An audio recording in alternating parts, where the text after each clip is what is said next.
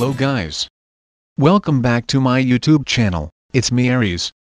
I hope you have a great day, and we have another new video today. As you can see at my thumbnail and description of this video. Yes. We can access to the test server but this is for limited persons only I think maybe 20,000 only. It's take a lot of your storage and it's 1.7 gigabits. First thing, clear some storage to be able to download this file. If you have fast internet, you'll download it quick. Don't use data because it's take all your data just use Wi-Fi to download this test server. This is first thing basis to download. So let's now download this, here's the link. Go to your browser, go to this link and just click enter. Then it will pop up download. Start downloading this. It take a while to download this because it's a big file but if you have a Wi-Fi, you can download this really fast.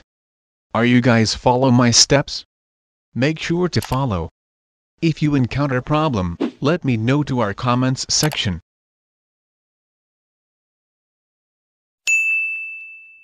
We are now done downloading and let's install now, let's see if this work. I hope this work for me also for you guys.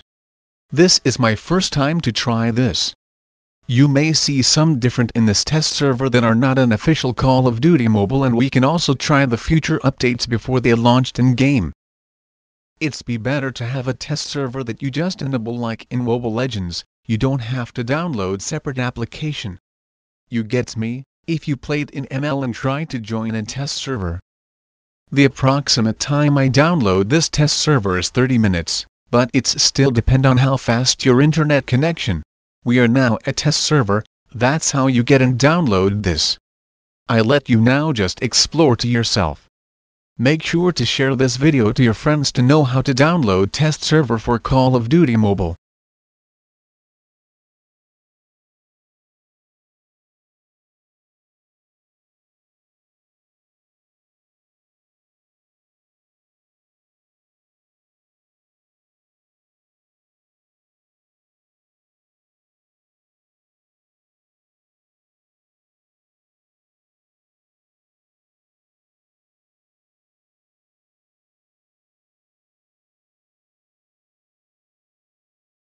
If you have any videos that related in Call of Duty Mobile, like epic fails, funny videos, and others, kindly send your video in this email.